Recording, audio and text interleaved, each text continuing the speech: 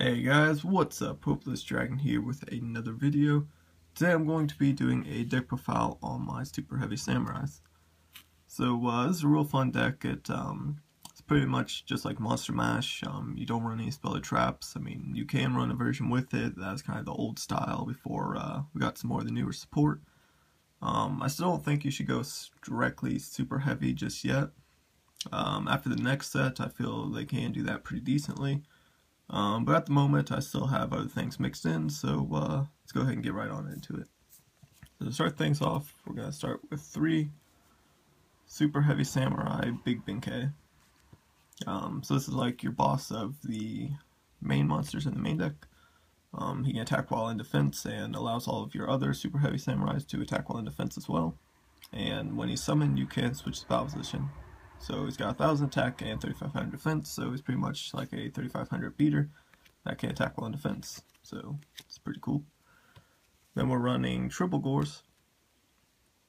Since you're running no back row in this deck, I feel Gorz is a great option in here just in case uh, your opponent gets rid of your board or you don't have anything set up right away. You have something to sit back on and Gorz is just a great card even whether it's burn or taking battle damage. Either way, if you ain't got nothing, which can't happen here, you can just drop Gorz and be able to hold out until you can. So three of those. Then triple giant rat. Uh, rat just gets you to your big Benkei easily, because when it's destroyed by battle, you some 1500 or less earth. So you bring out your big Benkei, and his effect will switch him to defense, so that way you already have everything set up. So three rats, pretty good. Then three super heavy samurai soul piercer. Um, soul piercer allows for your super heavy samurais to inflict piercing. So uh, you can make your big Benkei a 3500 piercer, or you can equip it to your bigger guy like Susanowo with 3800. So so it's always pretty nice. Then if it's sent from the field to the graveyard, you get to add a super heavy card from your deck to your hand. So, so it's pretty nice. Well, super heavy monster for your deck to your hand. Then triple super heavy samurai scales. Um, this guy, whenever he's summoned, you get to special summon a level 4 lower super heavy. So it's always pretty cool. And if your opponent has two or more monsters and you control none, you can just special summon them. Um, that's pretty much the main thing for him. Uh, yeah, just use them to go for exceeds or for synchro plays. So, yeah, pretty helpful. Then we got triple super heavy samurai blue brawler. Uh, his effect is can't be destroyed by battle, and when he's normal summoned or special, you can change his battle position. So uh, just pretty much a 2k beater while you have out your big K. And can just be kind of a pain for your opponent to get around sometimes. Then we got triple super heavy samurai trumpeter.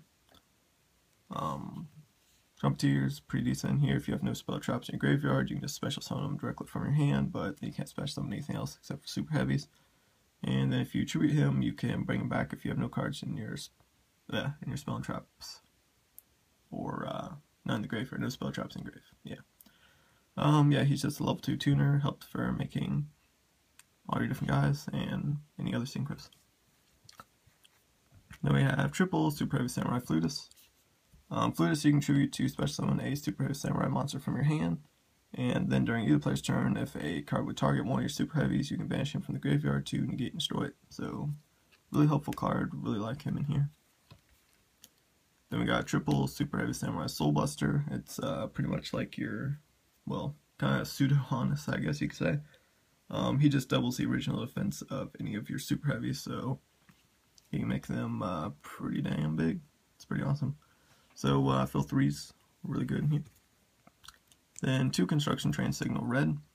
Um, it's an earth machine, so it works well with the deck, goes along with the rest of the theme.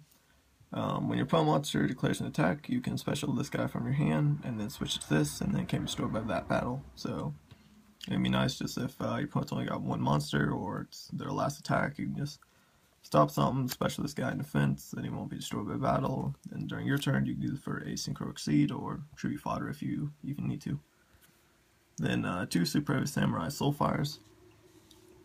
Um, you can equip it to make a monster 5. You're rarely ever going to use that effect. Um, pretty much you're just going to use it to discard to prevent your guy from being destroyed by battle or by card effects.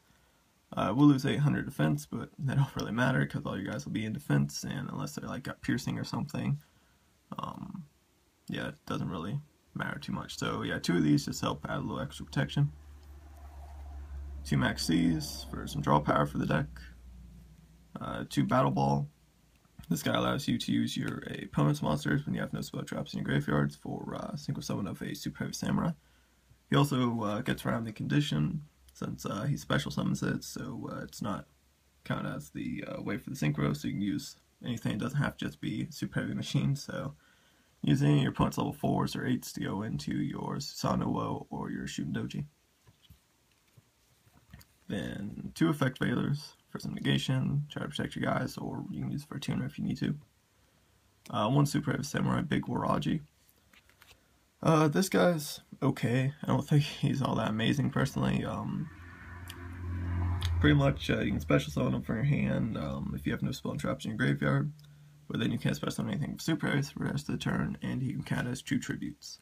Uh, pretty much just run him because he's level 5, so I mean, if you can, you can special him if you don't die next turn, summon a 2 and go for like Black Rose or something, but um, yeah, or you can tribute him for Big Benkei if you need to, but for just go for Flutist or something, or Giant Rat, but he's okay, so one of him. Then uh, one Birdman, just good for recycling a lot of different guys, I especially like it with, uh, I find him, the green guy, um, Scales, yeah. Because you can use Scales, bring back something, then uh, return to him with your Birdman, and then synchro with whatever you just brought back. So, so it's a pretty fun little nice combo there. see where this guy was. Yeah, somewhere in there. Let's just there. And uh, then one glow up bulb to finish off the monsters, which is the entire deck. uh, glow up just works really well with the deck since pretty much everything's Earth, so you can make Beast, Barkion, all kinds of other good stuff. Or if you have two fours in this, you can go for Trishula. So uh, it's got a lot of different versatility. Really like it in the deck. So that's it for the main deck. On to the extra, running one Leo, two Super Heavy Samurais, Warlords, Susanoo Will. Uh, so this is the guy's, like, big boss, I guess you could say. Um, his effect is um, he can attack while in defense. It's like most of, uh, well, not most of your others, but your Big Ben Um, and then he uses defense for damage calculation like normal. But um, the cool thing about this guy is you can take one of your opponent's spell traps in the graveyard and then set in your side of the field during either player's turn and then use it as your own card. And uh, then while, well, then when after you use it, it just gets banished instead. So you can't reuse it multiple times, but it kind of stops your opponent from reusing it as well. So it's a pretty awesome effect. Really like it.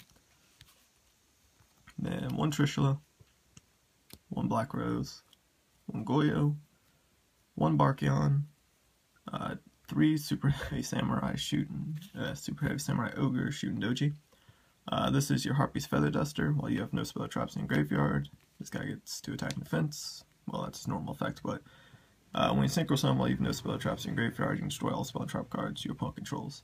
So just got a nice little 2500 beater that's going to wipe out your opponent's back row, so I think three is pretty awesome in here. I like it. Then one Armades, just good for certain decks, stalls, Yangzing, anything that uh, really has a lot of monster effects that go off, or Spell traps, really. Then one beast. This goes, yeah, it's good for anything that runs high spell count. Uh, then one Castel, one Exciton, and one Soul of the Silver Mountain. Um, this guy may be one that not a lot of people know what he does. Um, bit of an older card, can't return the duelist, but uh, it requires two level 3 Earths, which isn't too hard in here to do. Um, you got your Construction train signal red. that can help you go into that pretty easily. Um, but his effect is, um, no wait, felt focus there, yeah. You can detach one material, target a set card, your opponent can activate it, and then if he destroys a opponent's monster by battle, you can target Earth monster in your graveyard and then special summon it and face up defense. So uh, it helps bring back any of your big guys after they die, or anything else from your graveyard to reuse for synchros or exceeds. So, uh, pretty decent card. I like it in here. If you make it, it can be decent if it doesn't die. Stack is kind of crappy, but it's got decent defense, so it can be alright every now and then. But uh, yeah, there was my Super Heavy Samurai deck profile. I thank you all for watching. And I will see you guys later.